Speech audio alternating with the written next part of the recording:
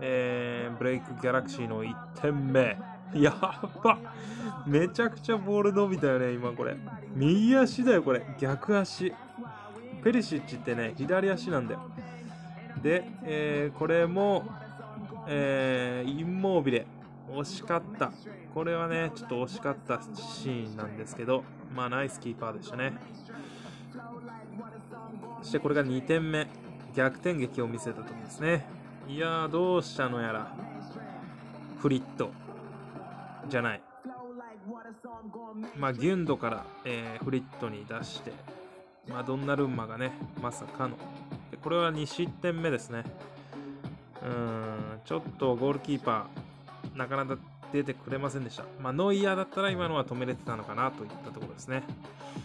うん、で、これが、えー、3点目、えー、さらに突き放したベンゼマの次は伸びるシュートではなくて、ディッピング、落ちる球ですね。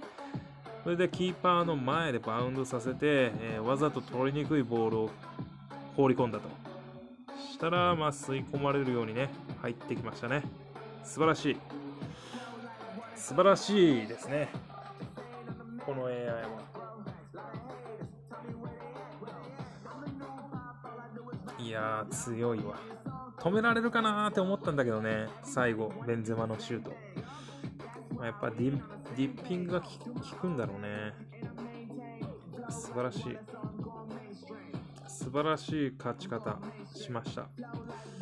まあ、えー、配信としてはいい取れ高になったのではないのかなと。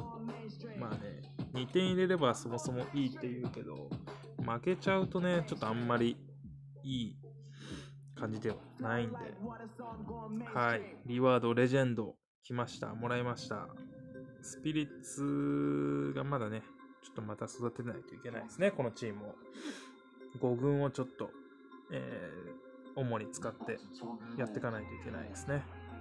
はい。ということで、今回は、えー、2試合で終わりたいと思います。次回は、えー、ちょっとまた何がやるか分かりません。その時のイベント次第です。では、この辺で。バイチャラス。